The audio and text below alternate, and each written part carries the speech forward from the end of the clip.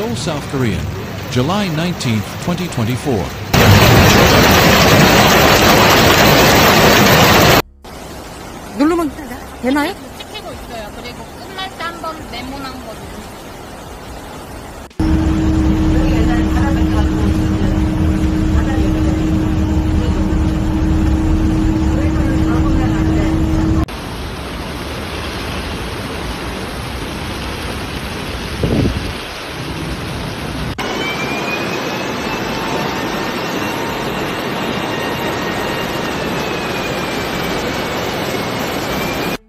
누르세요. 있고요. 내부순환로 마장 성동 구간 역시 양방향입니다.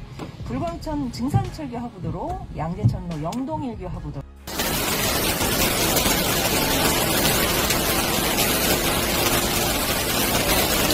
Torrential rain pounded the South Korean capital, Seoul, and surrounding areas on Thursday, causing rivers to overflow, inundating highways and triggering evacuations.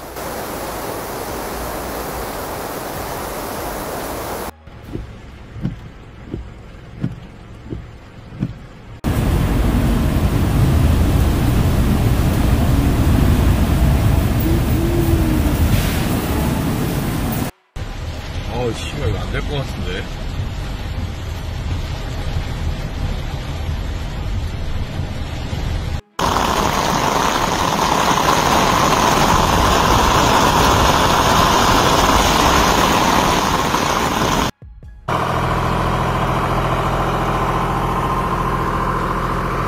The northern and southern regions of Gyeonggi province around Seoul were among the worst affected, recording hourly rainfall of 88.5 millimeters at one point on Thursday morning, according to Seoul-based Yonhap News.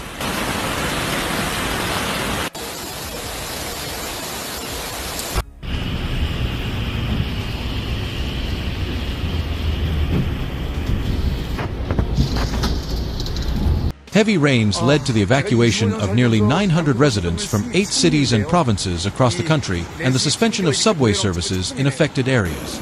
Authorities also issued immediate evacuation orders to residents in parts of Gyeonggi and South Chungcheong provinces due to overflowing rivers in those areas. The capital region saw rainfall of between 30 millimeters and 60 millimeters per hour, triggering flood warnings for 10 river basins in the greater Seoul area. The Dongbu Expressway connecting Seoul with Gyeonggi was temporarily suspended due to heavy rain, while several sections of the Naebu Expressway that forms the outer ring around the city were also briefly closed before returning to service later in the day.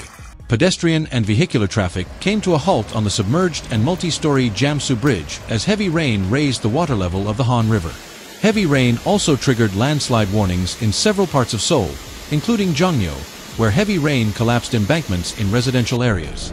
Northern areas of Gyeonggi province were among the most affected, including Paju, which received up to 75.1 millimeters of rain per hour on Thursday morning. According to the Korea Meteorological Agency, the total amount of rain that fell in Paju from midnight to 6 a.m. reached 143.5 millimeters.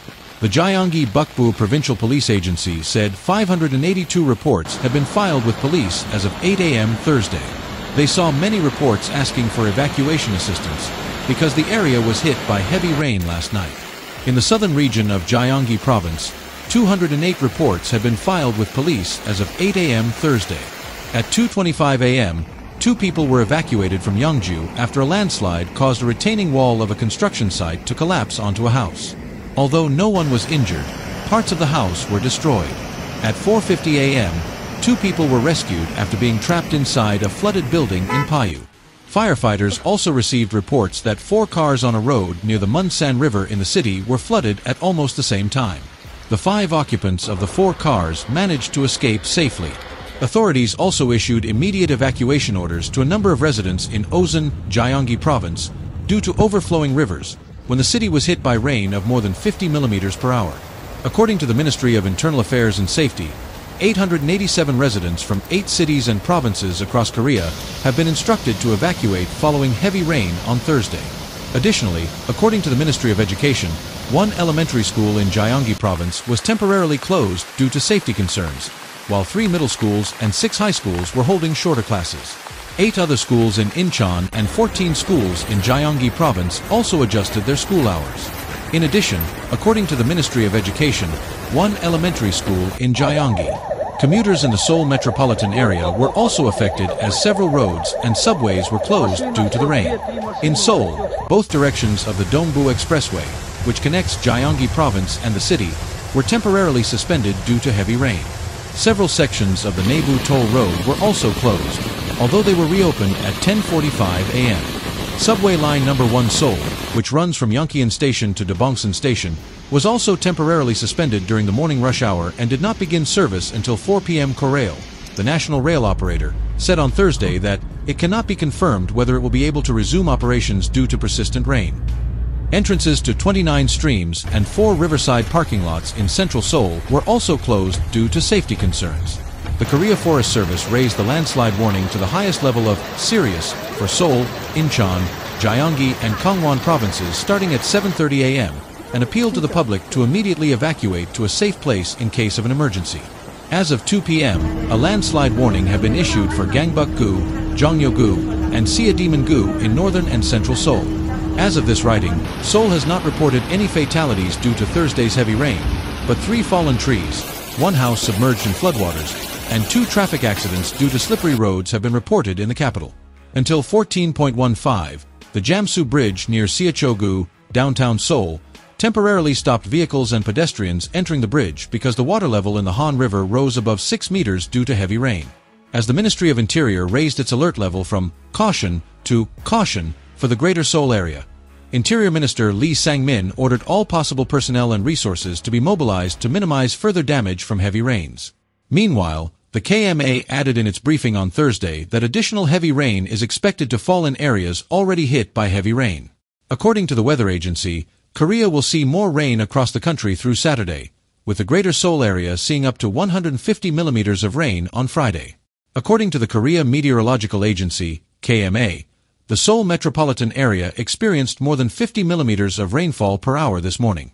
Pyeongtaek received 88.5 millimeters, Paju 69.8 millimeters, and Yongkyon-gun 58.5 millimeters, severely limiting visibility. In general, rainfall of more than 30 millimeters per hour is considered heavy, and more than 50 millimeters is considered very heavy. Panmunjom in Paju recorded 634 millimeters over two days, almost half of Paju's average annual rainfall of 1,295.8 millimeters. Incheon saw 328.5 millimeters, and Seoul 208 millimeters.